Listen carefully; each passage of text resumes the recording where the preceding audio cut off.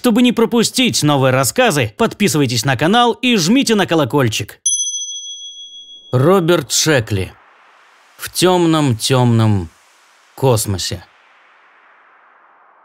На первый взгляд все шло как надо. Грузовоз Персифона чинно скользил в открытом пространстве по маршруту Земля-Марс. Шторман Дженкинс подпиливал ногти, размышляя, как потратить следующий гонорар. Бортмеханик Барстоу спал, а Мастерс, новый пилот, почитывал потрепанный экземпляр сыновей и любовников Лоуренса из корабельной библиотеки. За бортом царил почти полный вакуум. Почти, потому что в каждом кубическом сантиметре пространства легко обнаружить атом, а то и два. Тут и там мелькает космический мусор. На орбитальной земной станции экипаж набил трюмы грузом замороженных продуктов. Скормил бортовому компьютеру кассеты с маршрутом и стартовал в сторону искусственного спутника Марса. Корабль шел на автопилоте, и экипаж маялся бездельем. Однако в почти полном вакууме что-то незаметно переменилось. Антенны радаров беспокойно сканировали пространство, пусковые схемы напряглись в ожидании аварийного сигнала. Снаружи не было ничего, кроме частичек пыли, крохотных осколков металла и камня, слишком маленьких и незаметных для электронных систем наблюдения. Но вот Персифона миновала границу штормового фронта и облако пыли постепенно стало сгущаться. Когда концентрация частиц достигла критической точки, разряд электричества пронзил медную катушку и сработал сигнал тревоги. Дженкинс выскочил из кресла, чуть не заколов себе маникюрной пилкой. Будучи штурманом, он первым делом проверил местоположение корабля. Не заметив на экране радара ничего крупного и плотного, взглянул в иллюминатор на яркие, бесконечно далекие точечки звезд. Какого черта? Что с радаром? Бах! Бах! По кораблю разнеслось эхо двойного удара, и Дженкинс попятился. «Штормовой фронт!» – прокричал он. «Штормовой фронт! Всем приготовиться!» Коренастый бортмеханик Барстоу спрыгнул с кровати, схватил полдюжины банок с быстротвердеющей смесью X420 и убежал на корму к ядерному реактору. Мастерс остался в середине судна. Снова дважды бахнуло, и воздух с громким шипением начал утекать из салона. Отыскав пробоины, две крохотные дырочки размером с гривенник, Мастерс быстро заделал их смесью X420 и, обливаясь потом, отправился искать еще повреждения корпуса. Космос – это почти полный вакуум, однако в нем полно мусора. Осколки метеоритов, железки и прочая мелочь собираются в облака и на безумной скорости, закручиваясь по спирали, несутся к Солнцу.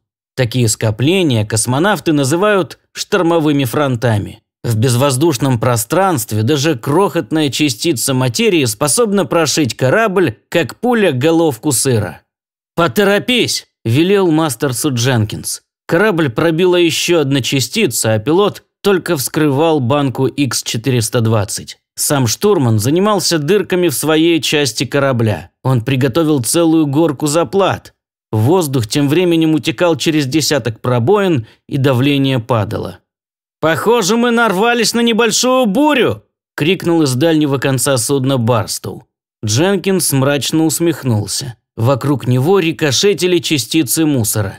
Дырявили плотную обшивку, проходили сквозь стены и опрокидывали шкафы. «Рация!» – отчаянно вскрикнул Мастерс. Очередной осколок лишил Персифону связи.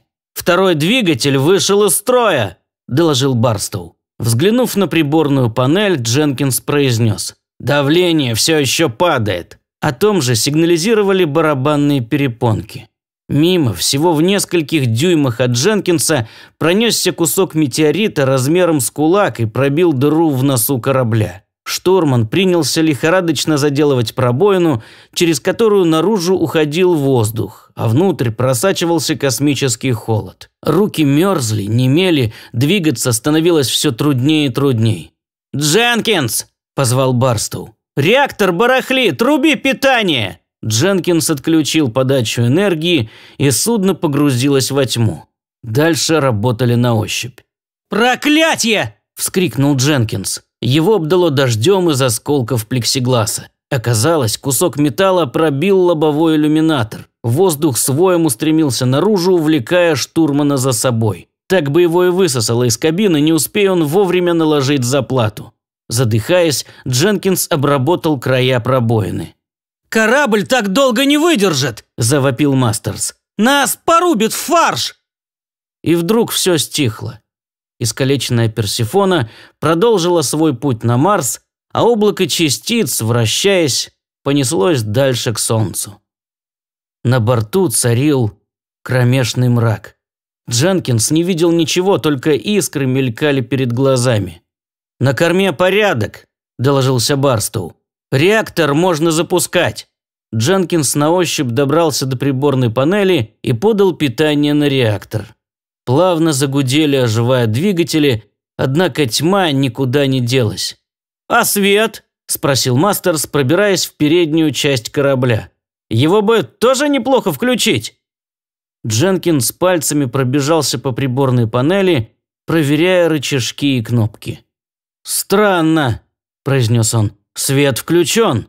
На корме закашлялся поврежденный движок, и только сейчас Дженкинс понял, что корабль потерял скорость, и на борту у них невесомость. «Реактор фурычит», – сообщил, возвращаясь на мостик Барстоу.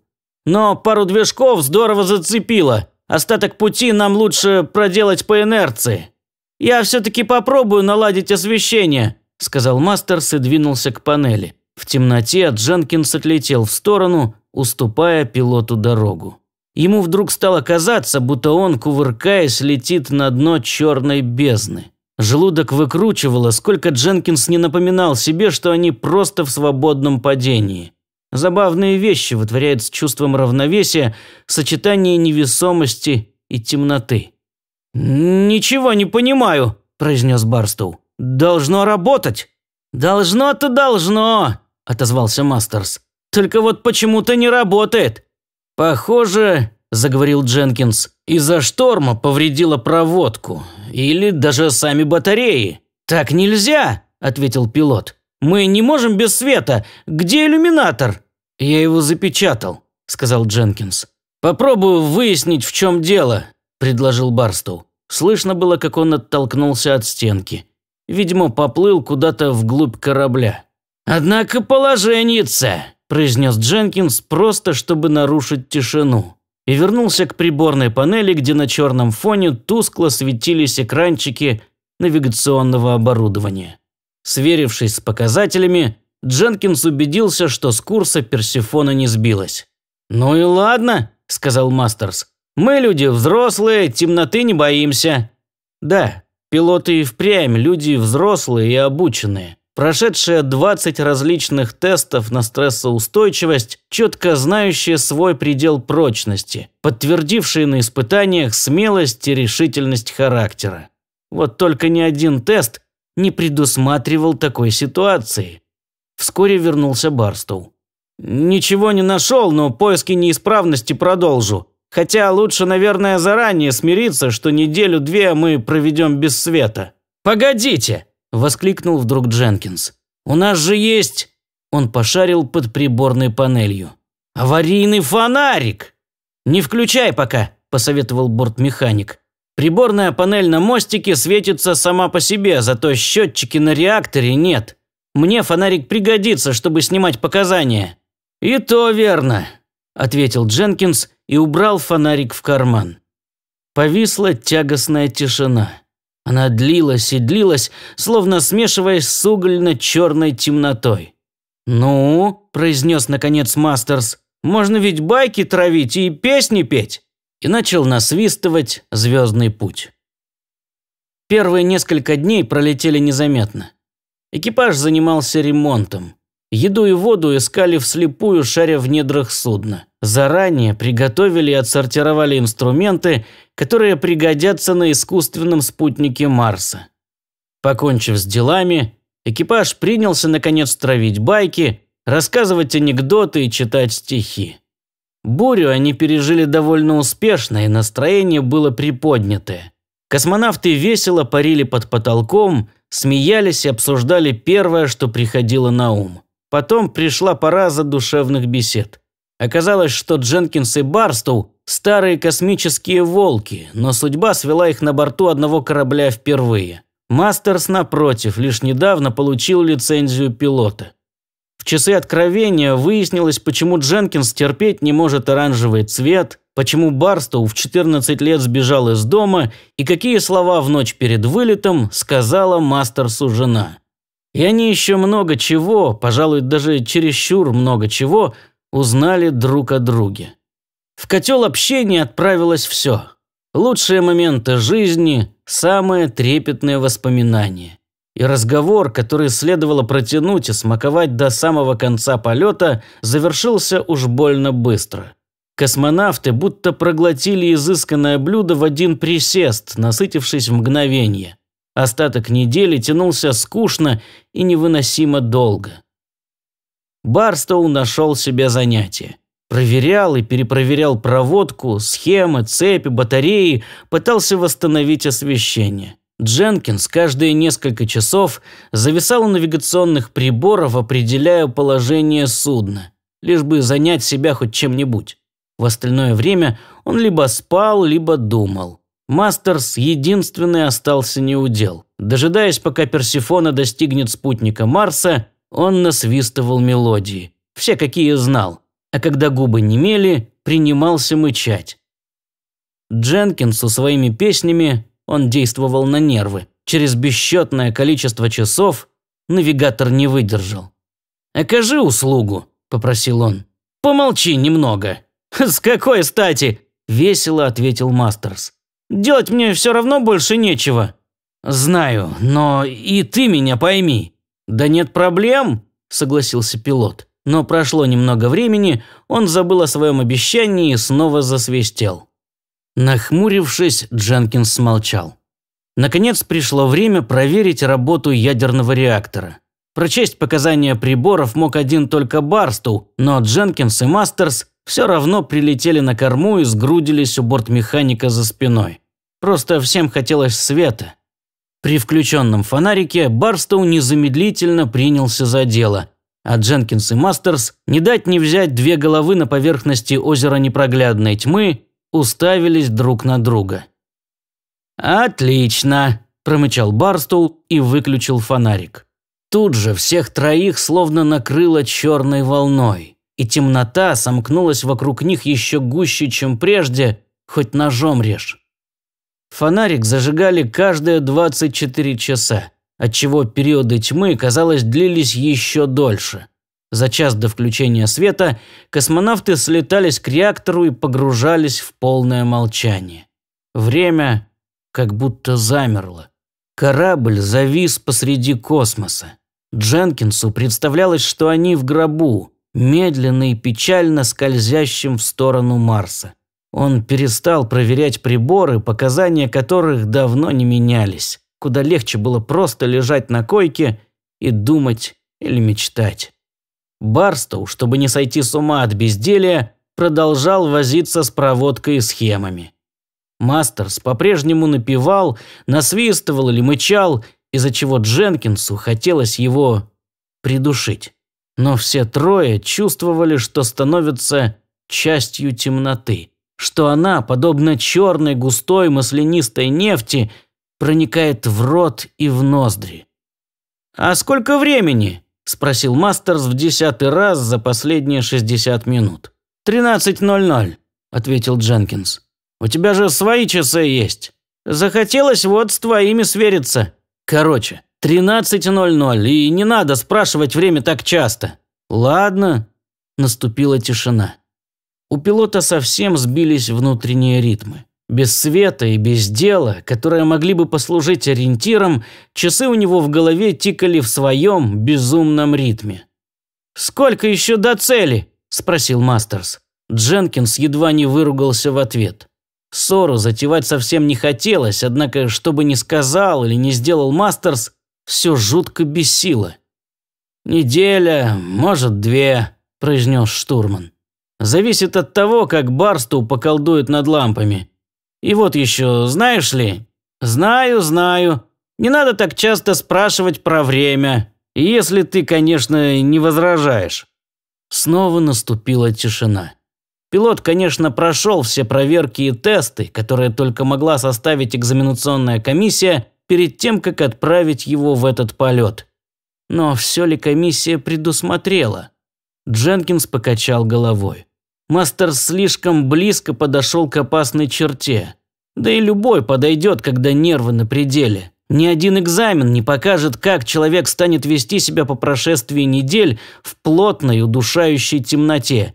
Никаким тестом не измерить силу духа человека в ситуации, когда ему и бороться-то не с чем. Дженкинс вернулся к мечтам и друзьям. Перебирал в уме образы девушек, которым бегал на свидание в колледже, потом возвратился в детство, проведенное в Орегоне на отцовском ранчо, где катался на пегом пони. Мастерс так и не нашел, чем занять разум. Хронометр у него в голове подсказывал, что последний раз он спрашивал время несколько часов назад. Взглянув на собственные часы, он решил, что те попросту вышли из строя и сильно нахмурился. Не могло же пройти так мало. «Который час?» – спросил он. «Тринадцать ноль ноль!» – прокричал Барстоу из кормового отсека. Его голос глухим эхом отразился от металлических стен. «Спасибо!» – сказал Мастерс и, помедлив, немного произнес. «Не пойму, что с воздухом». «С воздухом полный порядок», – ответил Барстоу. «А что?» «Он как будто сгущается. Что если осколком метеорита пробило баки с дыхательной смесью? Может, включим фонарик и...» «Не включим», – отрезал Дженкинс. «А то батареек до Марса не хватит». «Бога ж ради!» – разозлился Мастерс. «Нам ведь нужно дышать! Вряд ли это неполадки с вытяжкой!» «Заткнись!» – оборвал его Дженкинс. На корабле повисло молчание, и Дженкинс уже начал жалеть, что так грубо ответил Мастерсу. Если срываться на бедном пилоте, то легче не станет. Штурман хотел было извиниться, как вдруг Мастерс сам подал голос. «Время по-прежнему 13.00?» – спросил он, подчиняясь сумасшедшему ритму у себя в голове. «У меня, похоже, часы встали». Никто не ответил, и тогда Мастерс начал насвистывать. Сперва тихонечко, затем громче и громче. И вот уже эхо от его свиста разносилось по всему кораблю, словно пилот был одновременно повсюду. «Боже, как мне не хватает света!» – пожаловался Мастерс несколько часов или даже дней спустя. «Ты уже говорил», – заметил Дженкинс. «Знаю. Однако странная вещь получается. Пока свет есть, мы его не ценим, но стоит ему пропасть...» Он помолчал. «Честно признаться, я будто заново родился. Или наоборот, не родился». Дженкинс улыбнулся. Мастерс, паря в невесомости, собрался в поплывок и зажмурился. Открыл глаза, моргнул. Нет, темнота никуда не делась. В какой-то момент пилот как будто увидел свет, но вскоре понял это пошаливают уставшие глазные мышцы. Он изо всех сил попытался прогнать мысли о свете, однако ничем иным мозг занять себя не мог. «Свету бы нам, хоть немножечко», – сказал пилот. «Ты это уже говорил, не думай о свете, забудь». «Порой кажется, что я ослеп», – признался Мастерс. «Скоро там Барстоу пойдет проверять реактор. С ума сойдешь, пока дождешься. Дженкинс зевнул во весь рот и уже приготовился отойти ко сну, как вдруг услышал странный звук. Через некоторое время он понял, что Мастерс всхлипывает. Следующая неделя длилась еще дольше. Секунды ползли мучительно медленно, и каждая стремилась растянуться навек. «Время проверять реактор», – объявил Барстоу ровно в 24.00. «Отлично!» обрадовался Дженкинс, выныривая из грез. «Эй, Мастерс, мы идем проверять реактор!» Пилот не ответил. «Куда он делся?» – озадаченно произнес Барстоу. «Вышел воздухом подышать», – в шутку предположил Дженкинс и захихикал. Барстоу взглянул на часы. Ровно полночь. Пора проверять реактор. Время для экипажа Персифоны утратило значение, однако бортмеханик приноровился делать все строго по расписанию. «Я должен проверить реактор прямо сейчас», – сказал он. «Ну так пошли», – ответил Дженкинс. «Черт с ним, с Мастерсом. Пускай себе дрыхнет». Они перелетели в кормовой отсек к реактору. Включили фонарик, который светил заметно слабее, и проверили показания приборов. Но стоило погасить свет, как проснулся Мастерс. «Эй!» – позвал он. «Время проверять реактор еще не пришло?» «Ты проспал», – ответил Дженкинс. «Как это? Надо было меня разбудить!» «Так мы и будили. Я звал, Барстоу звал. Правда, Барстоу?»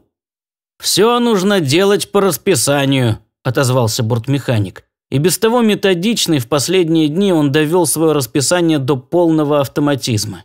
Часы на сон, часы на еду, время на проверку электропроводки, двигателей, запасов еды, кислорода и топлива, крепления баков. Все дела он подчинил строгой схеме, которая следовал неуклонно в отчаянной надежде не сойти с ума. «Так нечестно!» – не сдавался Мастерс. «Надо было будить настойчивее!» «Прости», – пустым голосом произнес Дженкинс, лишь бы Мастерс отстал. Хотелось скорее вернуться в мир грез и фантазий. «Тогда включи свет сейчас!» – хрипло потребовал пилот. Его голос эхом разнесся по кораблю. «Батарейки садятся», – пробормотал Дженкинс, уходя в воспоминания о поездке в Сан-Франциско к тетушке Джейн. Та угощала его печеньками с глазировкой и давала поиграть с красным резиновым мячиком. Хм, а какого цвета была глазурь на печенье? Зеленая? Желтая? «Черт вас дери обоих!» – вскричал Мастерс. «У меня прав увидеть свет не меньше, чем у вас! Хочу свою порцию света! Барста, услышишь?» «Поговорим, когда у меня начнется перерыв», – бесстрастно ответил бортмеханик. Сейчас по расписанию он проверял крепление бака с дыхательной смесью. Дальше у него предусмотрен получасовой сон, после него два часа на проверку заплат в корпусе корабля. Схема от и до постоянно навязчиво маячила у него перед мысленным взором. «Значит так?» – уточнил Мастерс. «Ладно, ладно». Правда, никто не обратил на его последнюю фразу внимания. Дженкинс как раз вспомнил, что печеньки были с зеленой глазурью, а Барстоу нашел крепление бака вполне надежным. Собственно, как и всегда. Тем временем внутренний голос стал подсказывать Дженкинсу, что неплохо бы как-то облегчить страдания Мастерса. Но как именно? Что нужно сделать? Штурман не мог себя заставить оторваться от койки. В темноте так спокойно, Воспоминания приходят сами собой, поразительно яркие, живые. И чего все суетятся? Мало-помалу штурман перестал обращать внимание на Мастерса. Единственное, пилот все свистел и свистел. Как если бы кто-то тихо и без продуху бормотал над самым ухом Дженкинса. Впрочем, однажды пилот нарушил привычный ход вещей. «Дженкинс!» – заорал он. «Чего тебе?» «Я подумал и понял. Я имею право на пропущенное включение света. Хочу его прямо сейчас». «И ты все время думал об этом?» Сонно переспросил Дженкинс. «Дело было неделю назад». «Да, думал. Я должен увидеть свет. Немедленно». «Возьми себя в руки», – ответил Дженкинс, крепко сжимая в руке цилиндр фонарика. Свет нужен нам, чтобы...» «Отдай фонарик!» – завопил Мастерс. «Не дам!» «Тогда я сам заберу!» Дженкинс вперился в темноту, пытаясь понять, где сейчас Мастерс. По голосу определить положение пилота он не сумел. Казалось, его крики доносятся отовсюду. «Барстоу!» – позвал Дженкинс. «На помощь!» «Прости, не могу», – отозвался бортмеханик. Тьма победила его разум, он окончательно к ней приспособился. Проклятое расписание, Барстоу ни за что от него не отступит. «Припасы», – сказал он, – «их надо проверить». И он улетел выполнять свой идиотский план. «Ты где?» – позвал Дженкинс. От страха он вспотел и выставил руки вперед в попытке защититься от нападения из темноты. В этот момент пилот засвистел. Дженкинс завертелся на месте, пытаясь определить, откуда исходит звук. Размахивая руками, сделал обратное сальто, как вдруг его схватили за ногу. «А ну, пусти!» – в ужасе закричал он и ударил Мастерса по руке. Отбиться удалось, но Дженкинс потерял фонарик, не сумел удержать.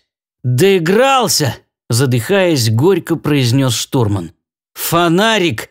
Слышно было, как тот маленьким снарядом бьется о стенки, рикошетит, постепенно теряя скорость от палубы и потолка. Наконец пропали всякие звуки. «Где же он?» – спросил Мастерс. «Не знаю», – ответил Дженкинс. «Где угодно. Мы же в полной невесомости. Теперь обыскивать придется каждый квадратный сантиметр корабля. А фонарик, между тем, наверное, висит у нас перед носом». «Мне нужен свет», – прошептал Мастерс. Ведомый строгим расписанием в рубку влетел Барстоу и даже не стал выяснять, что происходит.